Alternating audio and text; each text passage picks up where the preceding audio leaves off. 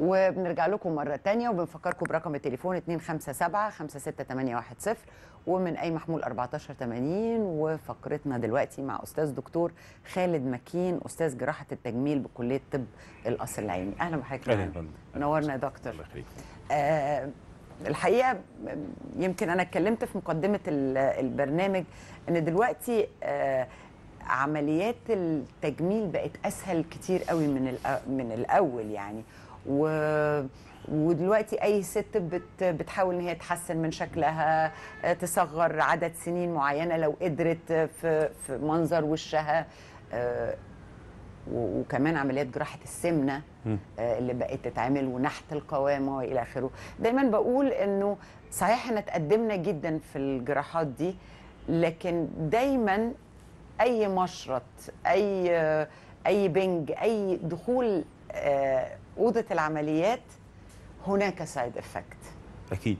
ما أكيد. ما يعني هو؟ لازم نت... يعني نبقى حضرتك هو في ال 20 سنة اللي فاتت في العالم كله جراحة التجميل بقت جزء أساسي من من الجراحات المتقدمة بصفة عامة والمنتشرة على مستوى العالم كله. وهي بتقاس في العالم كله المتحضر آه، كجراحة من جراحات الحضارة. يعني أنا بتكلم عن جراحة التجميل البحتة لأن إحنا برضو عشان نبقى بنتكلم بصورة أوسع شوية قسم أو يعني تخصص جراحة التجميل بيشمل قسمين متوازيين جراحة التجميل ما يطلق عليه جراحة التجميل الأساسية أو البحتة cosmetic surgery لوحدها وقسم تاني جراحات الإصلاح دي ما لا تتطرق لها كثيرا لأن دي موجودة من زمان زي جراحات الحروق والأورام وما شابه ذلك يعني مم. والإصابات جراحة التجميل البحتة تقدمت وهي جراحة الحضارة يقصد بها إن البني آدم بيبص لشكله شكله جسمه وشه آه، التغيرات اللي بتطرأ عليها سواء كانت خلقية أو إصابات أو تغيرات الزمن.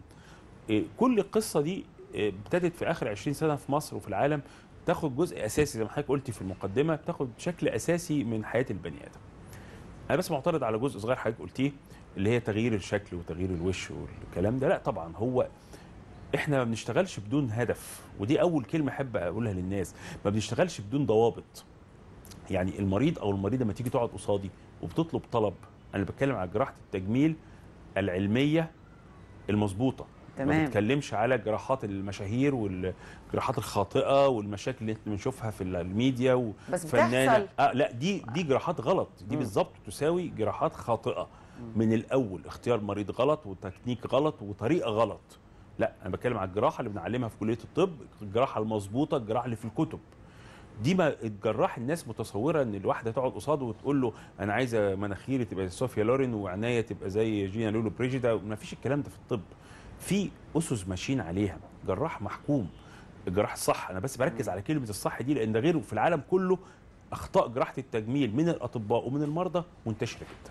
فالجراحة الصح يعني إيه؟ يعني أنا محكوم بضوابط علمية الضوابط دي بتحكمني. ممكن تنتهي الضوابط دي بتغيير كامل في البني آدم ممكن تنتهي بتغيير طفيف في البني آدم. إحنا طبيعي بنميل إلى القليل. يعني القليل دي نتيجة كويسة اللي هو التحسين. التحسين الأفضل. آه, آه. آه. لكن في بعض الحالات المريض بيبقى طلبه مقبول ينفع. زي الجراحات التقليدية القديمة اللي ما زالت تستخدم شد الوش وتصليح المناخير تصليح كامل الجفون. دي بتؤدي إلى إعادة شباب ونضارة الوجه. وأنا برضو الحاجة التانية عشان اخد من كلام حضرتك في المقدمة حكاية إن إحنا بنغير شيء من خلق ربنا سبحانه وتعالى هو كله خلق ربنا اللي أنا بعمله ده خلق ربنا برضو أنا ما بخلقش.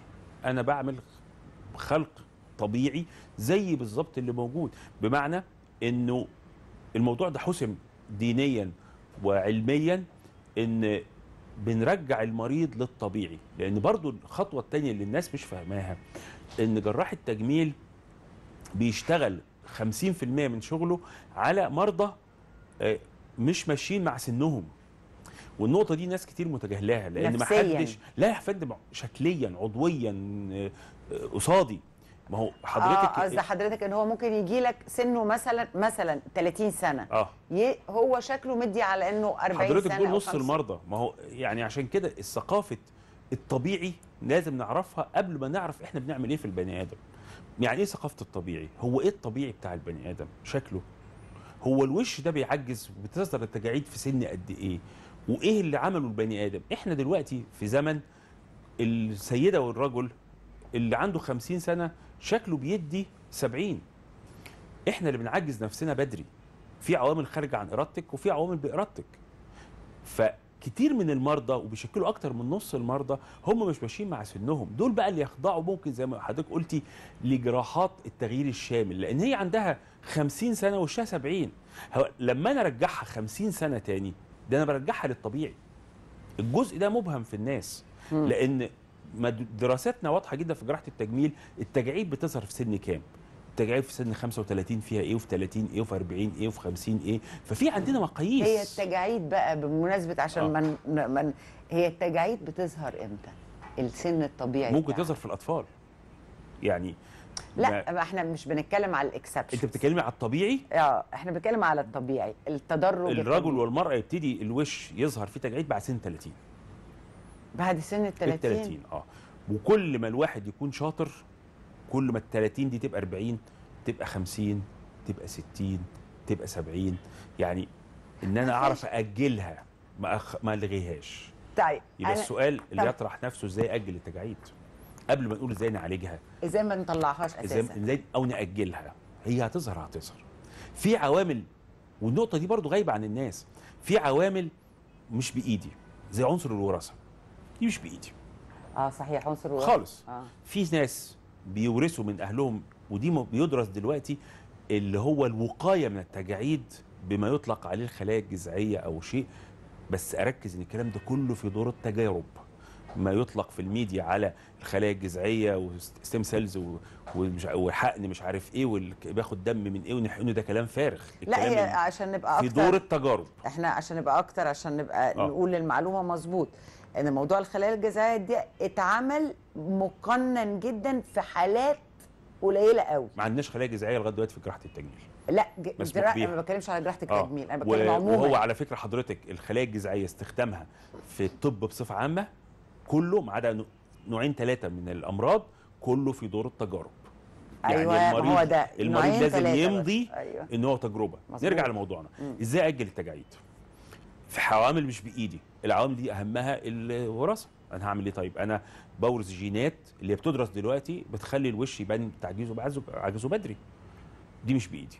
في عامل تاني مش بإيدي الجو. الجو اللي أنا عايش فيه. معروف إن عدو الأول للبشرة الشمس. وإحنا بلد شمس. وبلد شمس. وساعات أضطر أمشي في الشمس وأعيش في الشمس وأعيش في الحر وأعيش في ال ultraviolet يعني فدي برضو مش بإيدي. مم. مش بإيدي. دول يمكن أهم عاملين مش بإيدي. في عامل ثالث هو بإيدي ومش بإيدي ولعلمك ده العامل الأساسي مع التجاعيد وهو التوتر النفسي. التوتر النفسي والعصبي والقلق اللي إحنا عايشين فيه من أهم مظاهره ظهور التجاعيد بدري. العامل ده برضو مش بإيد الناس. طب إيه اللي بإيد الناس يأجل التجاعيد؟ حاجات كتير. أولها التدخين. بجميع أنواع التباكو. شيشة وسجاير وسلبي وإيجابي. دي نمره واحد يعني أنا بتجيلي مريضة عايزة تعمل شد وش. تشرب 20 سيجارة في اليوم. أقول لها زي قلته. هنا بقى جراحة التجميل الصح.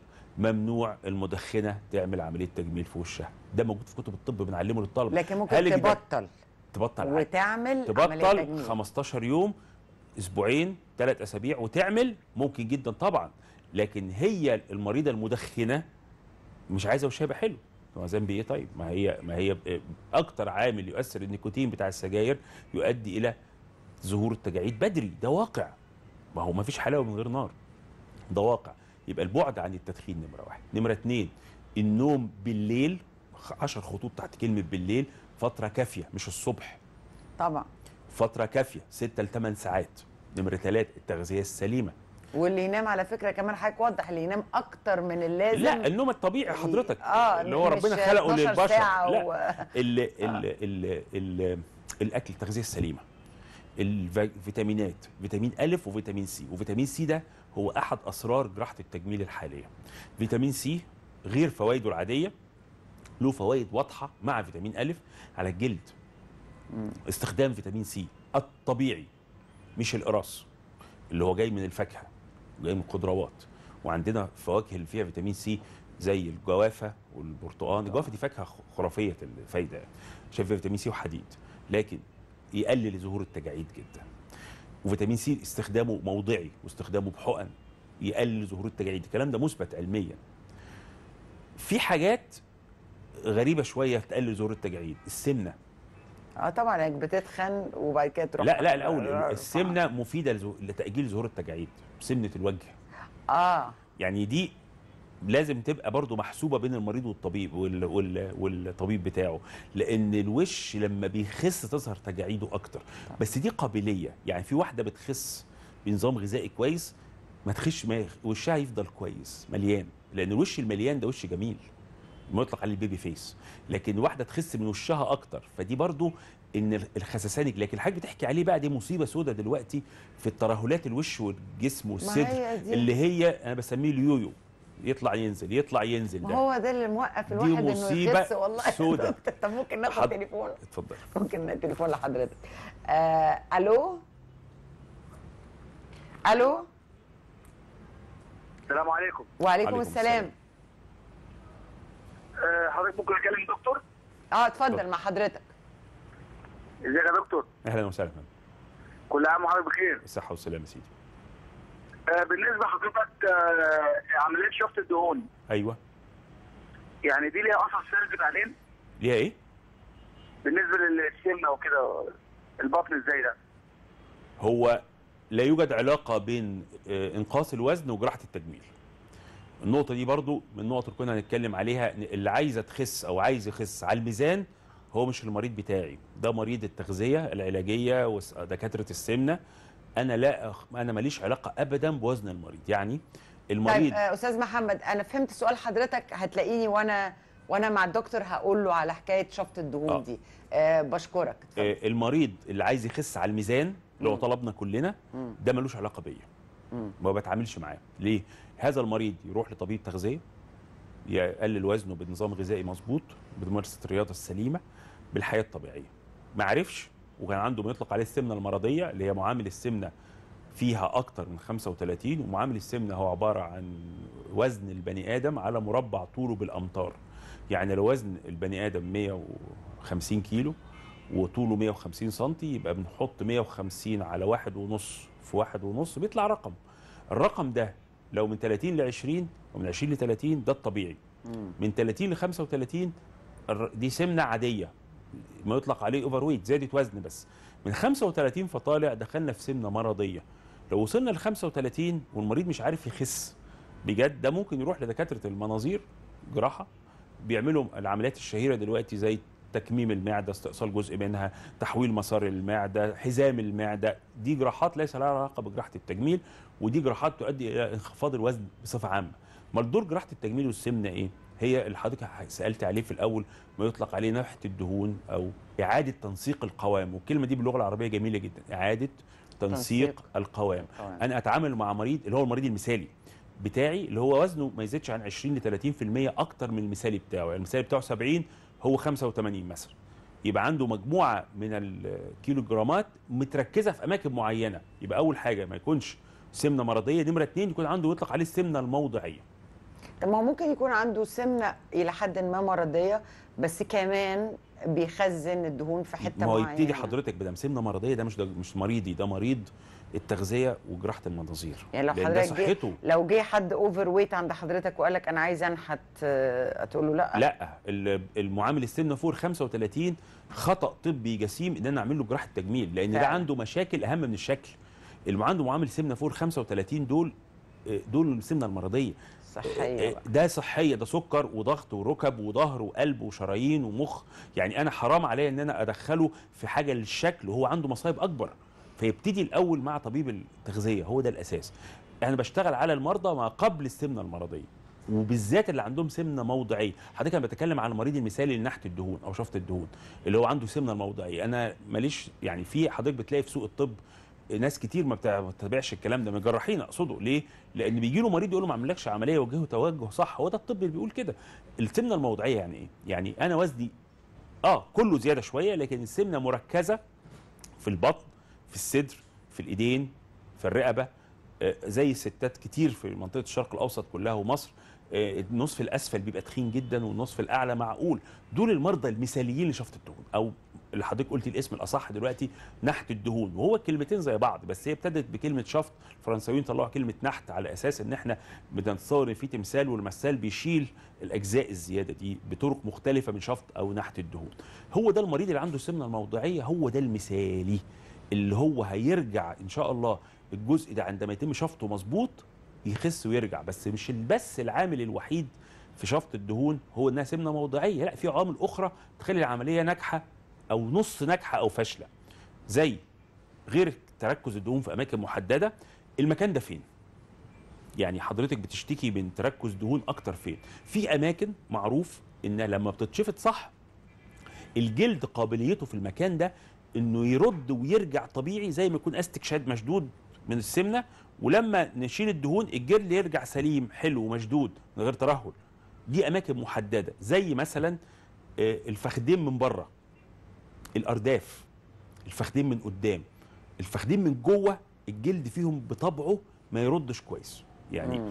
فدي بتحتاج يمكن في كثير من المرضى مش بقى شفط أو نحت استئصال. وهو النوع الثاني من الجراحات اللي هي تنسيق القوام دي جراحة كلاسيكية. بجرح وبنشيل الدهون بالجلد ونشد الجلد. زي البطن مثلا في أغلب الأحوال البطن ما بينفعش فيها شفط الدهون إلا في الحالات الب- البداية. يعني الست المخلفة كذا مرة بقيصرية أو عادي وعندها ترهلات وعندها كرش الراجل عنده كرش كبير. دول لو إحنا شفطنا الدهون الجلد ما يردش في مكانه. ده غير إن البطن إيه سبب الكرش ما هواش بس ال- الدهون خالص. الدهون ده عامل. لكن في عوامل أخرى زي ضعف العضلات. وإن ال- ال- المصارين من جوه والدهون الداخلية بتزق لأنها كتير بتزق العضلات الضعيفة دي. فأنا محتاج في المريض ده أو المريضة دي انت كتير منهم ستات بعد ولادات كتير إنهم يعملوا كلاسيك عملية اللي هي افتح وقص افتح ونصلح العضلات. لأن لو اخترت سؤال واحد إيه أهم سبب للكرش؟ هيطلع ضعف العضلات مش الدهون بس. وضعف العضلات. فده اختيار مريض شفط الدهون هو سر نجاح العملية. المكان الشفط سمنة موضعيه الأول أكتر منه سمنة عامة. مكان الشفط فين؟ والسن. إذا عملنا شفط الدهون أقل من سن ال 30 آه. النتيجة رائعة في الجلد. سن ال 40 نتيجة كويسة جدا مقبولة.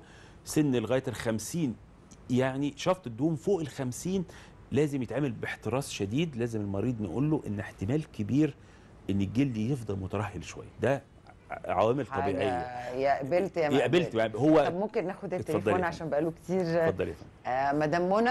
أيوه السلام عليكم. عليكم السلام. وعليكم ممكن السلام أكلم دكتور خالد؟ مع أهلا. حضرتك. السلام عليكم يا دكتور. عليكم السلام ورحمة آه، حضرتك أنا عندي آه، ترهلات في البطن من تحت. آه، وفي منطقة الكتاف من فوق. آه، حضرتك يعني عريضة شوية. وفي كمان في الوجه عندي حبوب دهنية تحت الجلد. سن. حضرتك قد إيه؟ آه، 36 في أولاد؟ آه، عندي اثنين آه. اتنين. ولدتي أه. قيصرية؟ آه. بص موضوع الحبوب ده أنا ما أقدرش أحكم عليه من غير ما أشوفك لأن موضوع الحبوب ده فيه أنواع كتير أو أسباب كتير للحبوب يعني أه. ده حبوب في الوجه الوجه. ولا آه في الوجه؟ عند منطقة الأنف كده حوالين الأنف ممكن تكون كياس دهنية ممكن وعند العين كده. ممكن يكون يعني لا فدي لازم تتشافي فيها. ترهلات البطن بقى واحدة والدة مرتين ففي الغالب في 36 دي محتاجة تقييم كويس تعمل شفط دهون ولا آه، عملية استئصال الدهون وشد البطن الكلاسيكية آه، دي لازم بقى الجراح هنا دوره إنه يوجه المريض لإيه؟ وتفاهم المريض برضه. ما أنا برضه أقول لحضرتك حاجة آه، نوع حياة المريض بتفرق. يعني إيه؟ يعني أما تجي لي عيان عندها 36 سنة زي الأخت اللي بتتكلم وتبقى هي محتاجة وهي لابسة هدومها العادية ما يبقاش في كرش ما يهمهاش قوي يعني بتلبس مايو ما- يعني الموضوع ده مش مش فارق معاها ممكن قوي. تلبس كرسي ويبقى خلاص ويبقى شفط الدهون تمام. كعملية أبسط وبتروح في نفس اليوم أبسط. لكن في مريضة تانية تقول لي لا أنا عايزه لما أقف. وعلى فكرة دول هتستغرب حضرتك آه، من النقطة دي. كثير من المرضى دول مش حكايه انها تلبس مايو بيكيني والكلام ده الناس فاكرة إنها ناس متدلعة. لا في واحدة ودي أحسن واحدة تعمل عملية تجميل اللي بتعمل عملية لنفسها. مش هتروح تلبس مايو بيكيني في أنا مش قادرة أتحمل هي مش قادرة نفسها كده. وهي في المراية لوحدها عايزة بطنها تكون شكلها كويس ما يطلق عليه self image هي همها ما يطلق عليه ال self image دي مريضة كويسة جدا جدا طب لأن مدام منى ممكن تقفلي حضرتك وهنرد على سؤالك. دي دي حضرتك بتبقى آه، سهلة ال- الإقناع وتسعد بسرعة. أسوأ مريض مقابل لها اللي هي أول ما تقعد قصادي في العيادة تقول لي أصل أنا واحدة صاحبتي في النادي قالت لي إن انت عندك كذا أصل أنا أختي قالت لي دي. آه دي اللي هي ودانية آه بقى دي. نادرا ما وعشان كده جراح التجميل في العالم كله في مصر. نادرا ما يعمل عملية لمريضة بعد أول جلسة. يعني لازم يقول لها طب نتقابل مرة تانية ونتكلم تاني وأقول لها الأسوأ قبل الأحسن. وأشوف مدى مفيش دكتور تقبلها بيعمل كده يا دكتور خالد يعني كمان أنا. لما هروح لدكتور أقول له النبي اعمل لي شفط دهون ولا اعمل لي مش عارفة إيه هيقول لي حاضر. وريني بس آه، يا فندم آه، آه، أنا. أتحدث على الطب السليم طيب ما ما قلتش الطب الممارس. الطب السليم أنا بتكلم. على الطب السليم مش الطب اللي بيتعمل في الممارس في سوق الطب المصري لأن لو اخترت تخصص أنا بقالي 30 سنة جراح تجميل لو اخترت تخصص واحد بالبلدي كده بنتكلم بصراحة في عك وفي نصب يبقى نمرة واحد هو جراحة التجميل. بطريقة ما أنا فظيعه مصدق حضرتك. وأسهل مريض. يضحك عليه آه هو طبعا. جر... هو ده مريض التجميل.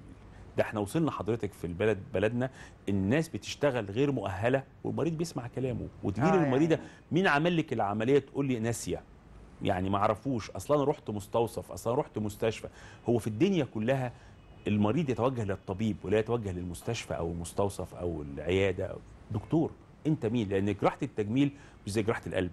جراحة القلب أنا أسأل على مستشفى كويسة عشان فيها رعاية مركزة وفيها بتاع وكلام من ده لكن إحنا 99% من نجاح العملية بعد فضل ربنا سبحانه وتعالى هو مهارة الطبيب.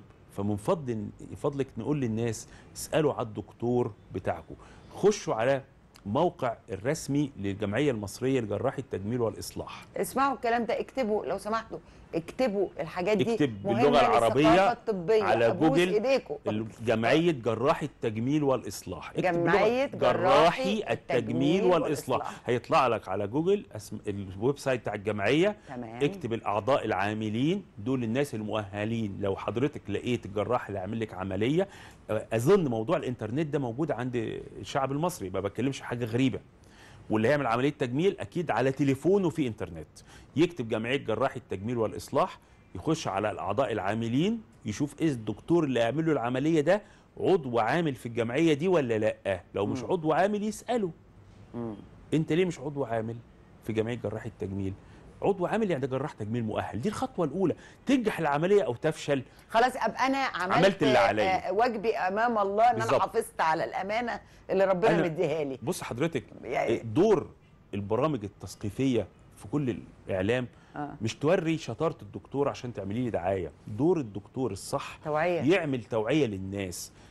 خش على الجمعية المصرية لجراح التجميل والإصلاح هم دول اللي ولو الدكتور ده. مش مكتوب اسمه كعضو عامل صحيح. عضو المنتسب ده عضو بيتعلم لسه العضو العامل منتسب بيتعلم بيتعلم لسه. ده غير مؤهل انه. يشتغل العمليات دي العضو العامل مؤهل. وهتستغربي العضو العامل في جمعية جراح التجميل والإصلاح ما يزيدوش عن 400 واحد في مصر بس في 400. جمهورية مصر العربية وأنا أقدر أعد لك 20 اسم في المربع 5 كيلو اللي إحنا قاعدين فيه في ماسبيرو دلوقتي آه. غير مؤهلين. يا بالكتب. حليله مؤهل غير مؤهلين بال بال بالورق. يعني. أنا ما بدعي ممكن يكون ناجح ويكون فاشل بس أنت مؤهل ولا غير مؤهل؟ اتعلمت فين؟ أصل حضرتك جراحة التجميل بتعتمد زي ما قلت لحضرتك بنسبة 99% على الجراح. ما لما تفشل العملية ما أقدرش أقول اصل الرعاية المركزة بايظة اصل التمريض وحش في مصر لا لا لا. اصل الآلات وحشة. إحنا جراحة بشرية. أنا وإنتي بس. يعني الجراح لو نجحت العملية الجراح السبب. فشلت الجراح السبب. ما نعرفش نلف وندور. ثانيا ولا وعلى فكرة والجراح الكويس هو عارف بيدخلك مستشفى عاملة إزاي. لأنه عايز أكيد وأنا مش محتاج مستشفى خطيرة ولا لا، صعبة طبعاً، بس- لأن هو المريض اللي هيخش على رعايه مركزة ده مش عياني خالص. آه، بالظبط. كده. فهي المشك... الفكرة كلها الناس نفسي قبل ما يروحوا اعتبري إن انت رايحة جراح تجميل أكن الراجل ده جاي يخطب بنتك وجاي يخطبك انت وهذا الرجل اسألي عليه مش والله عيب. العظيم مش بس التجميل والله العظيم أي دكتور أي دكتور أ- أنا معلش اتفضلي. ممكن ننتقل لفاصل اتفضلي وبعد كده نرجع نستكمل الحلقة. الرائعة دي فاصل